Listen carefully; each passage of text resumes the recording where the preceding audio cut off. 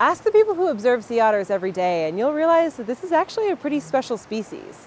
Their behaviors, social interactions, and quirky individual characteristics are just some of the things that we love about them. I went to Elkhorn Slough to see firsthand how sea otters live their lives.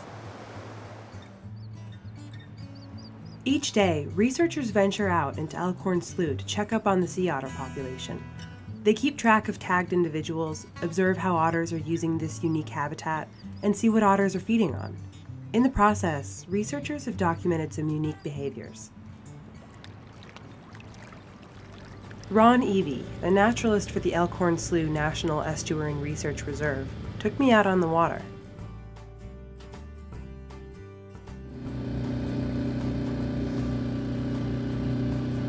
They're just so fun to watch. I mean, their, their intelligence really comes through when you look at them interacting with each other. I mean, They do one third of their life grooming, and they do one third foraging, and they do one third sleeping. So most of what we're seeing is that. Yeah. They're doing one of those three things. But in addition to that, they're curious. So if something happens to come by, they may pick it up and play with it. As the tide comes in, sometimes they'll bring kelp in, and you'll see them playing. They'll wrap themselves up in it, or they'll put some over top of their body like that. Uh, you'll see them communicating with each other. They'll, and we don't know exactly how they're communicating, but they'll touch noses and they'll sniff each other and do those type of interactions. Mothers and pups are always interacting. They, they're just inseparable. Mm -hmm. So they're always interacting. Other otters, it's like passing interactions. Mm. One's coming through another one's territory or something, and they'll check each other out and, and then go on. Otters will spend some time interacting, and especially here in the slough, often seem playful. When resting, they'll gather in tight groups called rafts. Most of the time, though, females and pups raft separately from the males.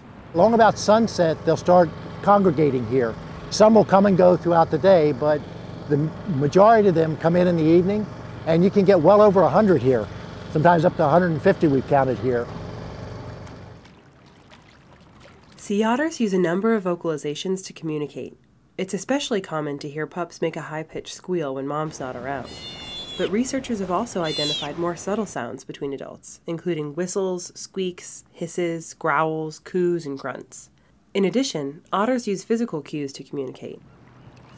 When they get up in the morning, one will come up and he'll just put his head on the other one, do some sniffing. Uh, sometimes you'll see a young juvenile come in and just like our kids, full of all that energy, and he'll actually jump on them. And he'll jump on another otter and jump on another otter.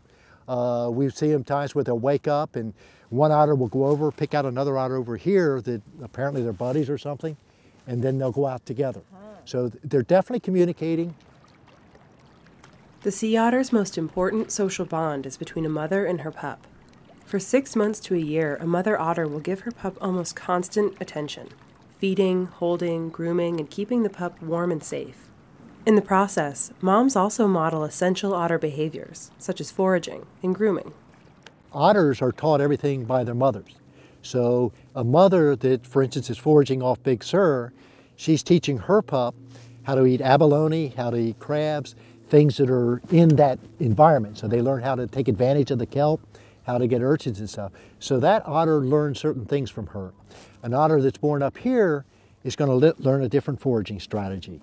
Otters do know how to use tools. They often learn that from their mother. So they're individualistic because each mother is teaching its pup the things that it had learned. For a sea otter, hunting for food is a top priority, and they spend around 25% of their time foraging. They mostly use short dives to catch prey on the sea floor, and mainly stay in water less than 100 feet deep. Once they get their meal, they'll bring it to the surface to process and consume it. There you often see them using rocks to break open clams and other shellfish. Each otter has its own way of doing things. They're adapting to the food sources in the environment they're in. So ones in the kelp bed may not bother diving at all. They may just pull some of the kelp up over them, reach through, get the little crabs. Some otters just live off of them. Uh, out here we have eelgrass. There's a lot of crabs in that. In order to survive in the cold water, otters need to maintain their luxurious coat. For up to 15% of their day, they meticulously groom their fur. Otters rub in air and cap it off by doing somersaults to trap the air next to their skin, keeping them warm and dry. They have to keep replenishing that air in there and they have to keep those outer hairs guard hairs, as they're called, uh, all clean so that they will lay down and actually provide that waterproofing. But their nose and their paws don't have that. Imagine how cold your hands get when yeah. you get out there and you get cold. So their faces are exposed, their paws are exposed. The funniest thing I think is watching how they can roll over. Both paws out of the water and they can do a complete 360 uh-huh. without ever getting their head or their paws in the water. When male sea otters reach full maturity, they'll often be territorial.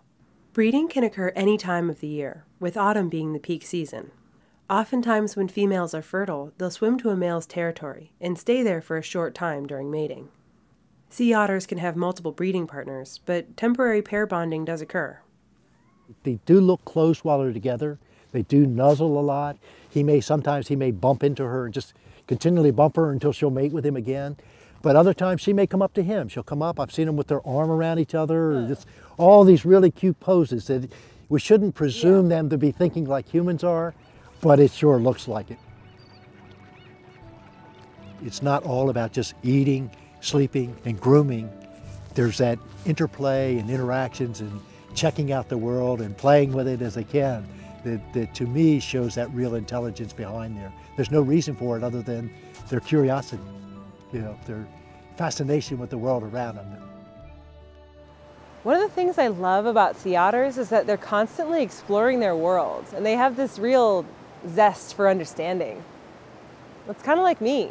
And it might be one of the things that draws scientists to study them. You know, that exploration is really what science is all about.